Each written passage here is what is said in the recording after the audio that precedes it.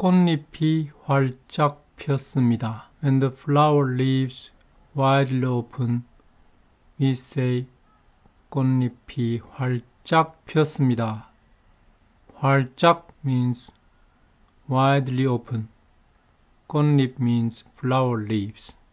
폈습니다 is from 피었습니다. 피었다 is shortened into 폈다. 흰 꽃이 활짝 폈습니다.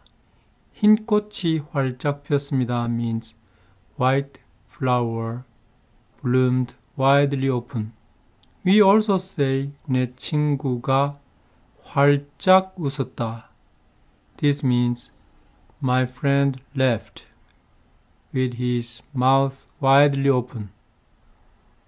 꽃잎이 활짝 펴서 그 속의 자세한 기관이 다 보입니다. 이렇게 어느 집안 대문이 열려서 그 집안의 속의 모습이 보일 때 우리는 그 집안의 대문이 활짝 열렸다고 합니다. This flower is so widely open we can see the organs inside it.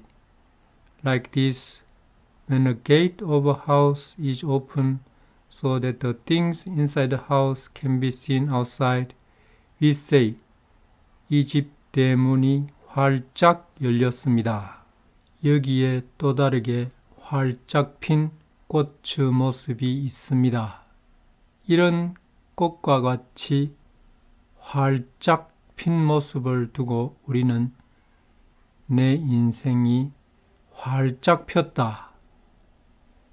내 인생이 활짝 폈다 means my life bloomed widely open means I am running on the widely open road. So my life is really successful.